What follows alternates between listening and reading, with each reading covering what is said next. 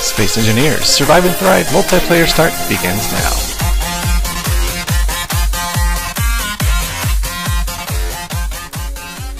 Hello and welcome to Space Engineers. This is Enigma and I have my son with me, Captain Joe. This is the Survive and Thrive tutorial series that we're going to go through, uh, start something new here for you guys. Uh, we're going to use the START emergency recovery kit that I developed. It's on the workshop. I'll provide a link for you in the description. Uh, but this particular episode, we're going to focus on just getting this set up so you can do it yourself. Uh, keep it short and sweet.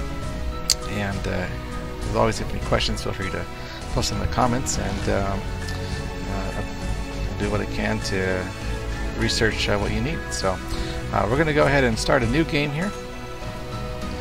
And we want to go to custom game go down to the solar system because we want some planets. We don't want to start with an empty world. We do want to have some planets here. This will be a survival game. I'm going to call this Start Multiplayer. I do want to have uh, my son join me, so I will set this to two players, online mode. I don't want to autosave. I like to save uh, my files um, when I want to. I don't want my saves to be overwritten. I'm going to go here to advanced and we're going to select realistic settings all the way through. This is because the start kit is de designed for realistic settings.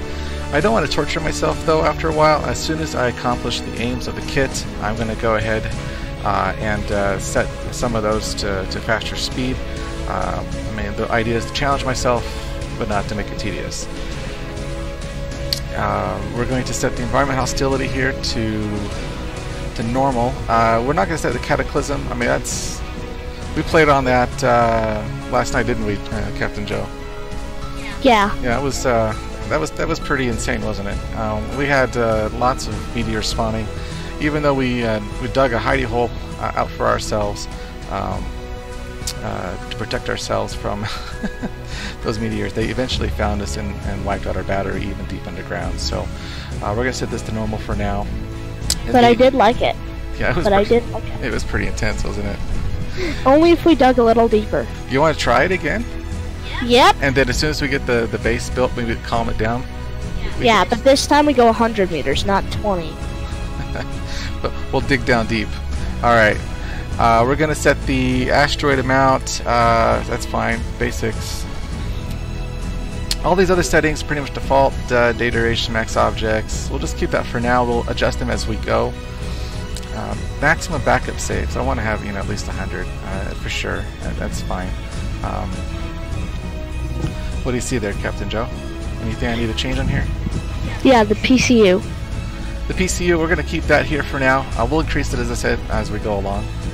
Yeah. We want to set the auto healing. Yep. Uh, spectator, we want that uh, delete the respawn ship for sure. Uh, don't want to reset ownership. No permanent death. Keep all these things defaulted. Um, in-game scripts, we're going to enable that for now. We're going to have cargo ships as well. You know, ships that we can now maybe pilfer from time to time. Hey, Enigma. What's up? Um, I need to get a drink of water. I'll be back in two minutes. You go for it. You go for it. See you guys in a little bit. All right. Uh, we're going to go ahead and set up uh, uh, uh random encounters, uh, and we're going to uh, not we're going to spawn without tools. You don't need tools with this kit. We definitely want to enable drones. You can hear the ominous music, as well as spiders on the planets. We need wolves. I believe wolves spawn on the Earth-like planet and spiders on the alien-like planet. We'll probably go into land at some point, maybe. Uh, mobile infantry style to clean up shop on the alien world. We'll, we'll take a look here. Uh, the good news is is that um, right now this is being recorded in Space Engineers 188, but uh, Keen Software House, the makers of Space Engineers, have uh, commented uh, that their next intent for the uh, for, uh, for an update is to provide content. The idea meaning that they're going to provide means for us to overbuild our our, battleships and, and, stations and bases. So that definitely sounds like content to me that's coming. We'll go and play with the content that's currently in this game right now, uh, in this current state, and as uh, we get new content in the future, or maybe even through mods, we might be able to go do that. I want to go ahead and enable friendly damage for now to see how that works out. And we're going to take off unknown signals because we don't we don't really want to be cheating at the start. I mean, it, it, the idea here is that these signals drop drop off cargo supplies nearby that you can scavenge. We don't need that with this kit. Um, we want to be self-sufficient as possible, and that's what we're going to do. We definitely need to enable the respawn ships initially when we create this, so that's what we're going to do. Um, probably also want to go ahead and add the mods right now too. I want to go ahead and these are just quality of life mods. Um, bare bones minimum, you can do whatever you want. They don't actually change any anything else in the game. I do want to have the ability to have animated interaction. This uh, allows me to visually see uh, where um, uh, other players in the game, you know, what consoles they're, interact they're interacting with. Um, you'll see how that works. Um, we're going to also do Space Just Got Real. This is controversial. It uh, um, changes the, the, the, default to skybox uh, as well as the shadows to make them more realistic as if you really were in space. It just makes shadows darker uh, and the skybox a lot darker too, um, just as you would as if you were really there. So we'll just go keep those mods in there. This is ready. We're going to actually enter this mode into uh, we'll set up in creative for now uh, so that we can go ahead and, and demonstrate the best way to find uh, locations. Hello everybody, I'm back. Welcome back, Captain Joe. Alright, let's see here. We're gonna I'm just gonna head and spawn myself in here. And you just hit respawn now, and you'll notice you'll be out in space. Possibly floating. I'm not on the dark side of the planet, it looks like use the Q and E keys to kind of rotate myself around. Um, looks like I'm actually on the planet, so that means hold on a minute. Stable at this point. I'm going to hit F8 to spectate, and this will bring me to a spot out in space where I'll be able to see the planets. There's Mars-like planet there and its moon, Earth-like one there, and I think the alien planet is over there. So. Um, yeah, there's um Earth, there's the moon, there's Mars and the alien planet. Now what we're going to do here is I'm going to go ahead and, and use the observation mode to get closer to the moon and pick out a spot and then respawn my character there. To do that I need to hold down the shift key, the W key, uh, and then while holding that shift key I'm going to push up the scroll wheel. And when you hold it, when you scroll uh, scroll wheel up, shift scroll wheel up, it'll actually move faster, and you can control the rate at which you're flying in observer, observer mode here. Like so, a superhero. That's right. And here I'm going to get to the moon. I'm going to slow down as I get to the moon. Just going to scroll down a bit, shift scroll down. And we're just going to pick a spot here. Uh, you can scout around if you want to. I don't really want to do that yet. I just want to kind of pretend like I'm coming into a crash landing. And we're going to just go and crash it right here ourselves in this crater. Now you could start the scenario however you want. You could you know make a ship, spawn it in, crash it yourself, make a whole story out of it. That's just fine. Uh, who knows? I don't know what we're going to do with the with our first official episode, but I think I think we're going to probably want to start. Uh, do you want to start in a crater? Um, how about we find a place that's a little bit sheltered because we are on Cataclysm, and second of all, their resources. That's and also I also I have an ultimate microphone. I also have an open mind for solar panels. Well, I want to place it up sunny. So. Sunny, resources, and protected. We also need something flat too. It's easiest to do it when flat. Adjust my speed here.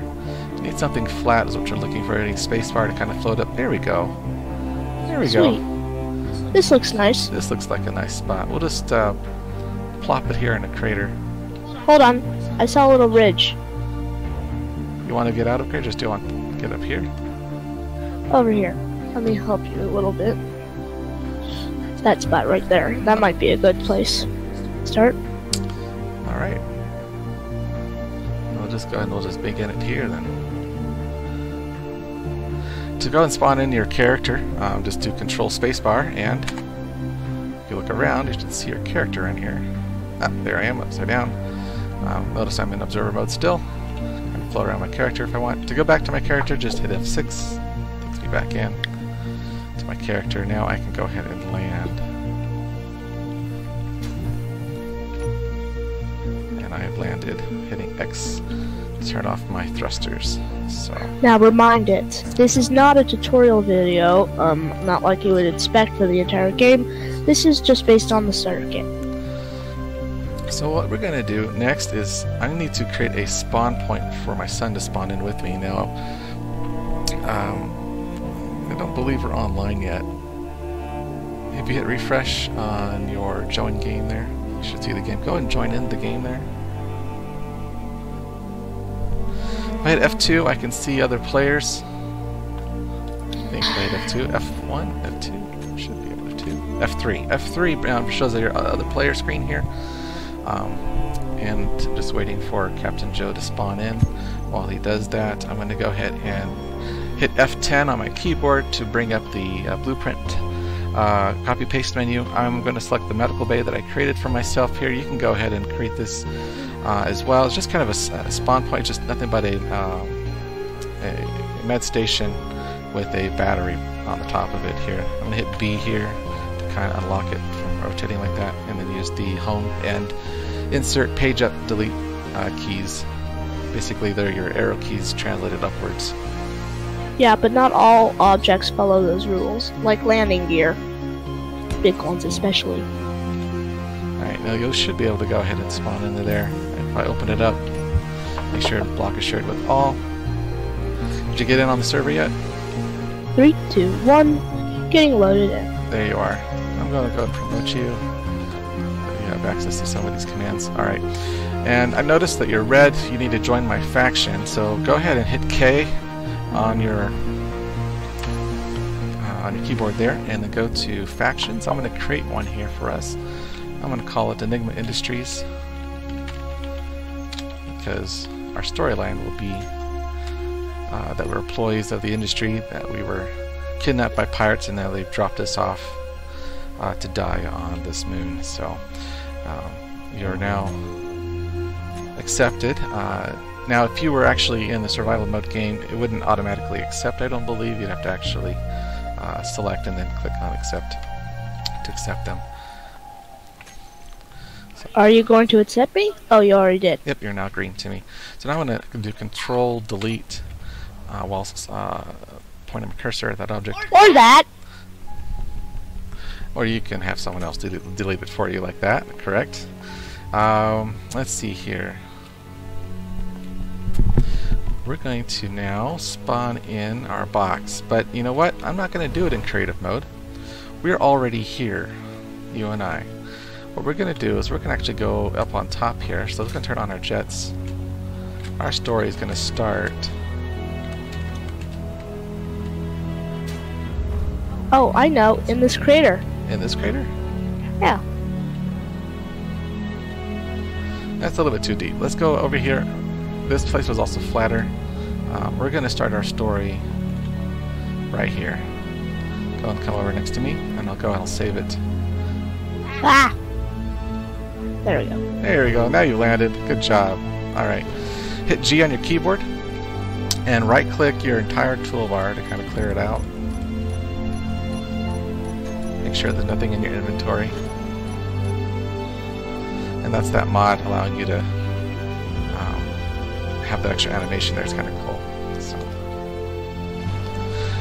to toggle my HUD, just you can uh, hit Tab, and that just gets rid of your uh, your entire HUD. How about we jump into survival next? Let's go and try that. So I'm going to go ahead and save this. Save our progress. We're not going to exit.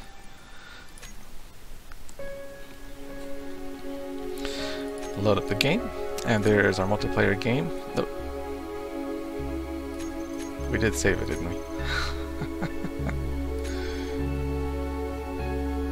oh, come on. Pretty sure we did. Oh. I think that one. That's that one. Might be using an old screenshot. That's fine. No worries. We're gonna just edit this. It's yeah. It's currently creative. We got the two. Um, we're going to do advanced again, just to confirm everything is set the way we want it to. No signals, spiders, we got, we got drones, we got spiders, no tools, perfect there. All realistic, cataclysm.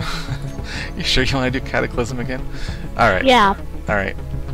And then we're going to do uh, mods. Just make sure the mods are there. Good, we got the mods.